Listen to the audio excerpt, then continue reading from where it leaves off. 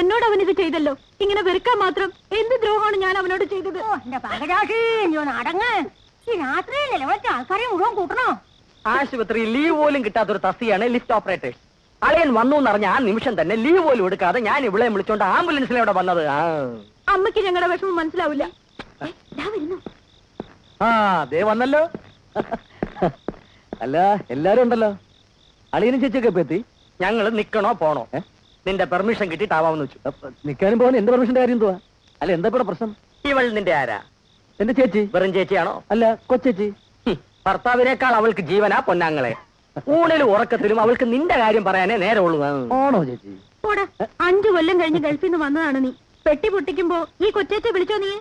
അതാണ് ആ കാര്യം. കുടുംബക്കാരെക്കാളും വലുതാണല്ലോ കൂട്ടുകാര്. ഞാൻ പറഞ്ഞില്ലല്ലോ. അല്ല കുട്ടിരാമൻ പറഞ്ഞില്ല അവർ പറഞ്ഞു. എവര്? നിന്റെ കൂട്ടുകാരില്ലേ ആ കൊരങ്ങന്മാര്? അതൊക്കെ പോട്ടെ. ഒരു പെട്ടിയല്ലേ ഞാൻ പൊട്ടിച്ചുള്ളൂ.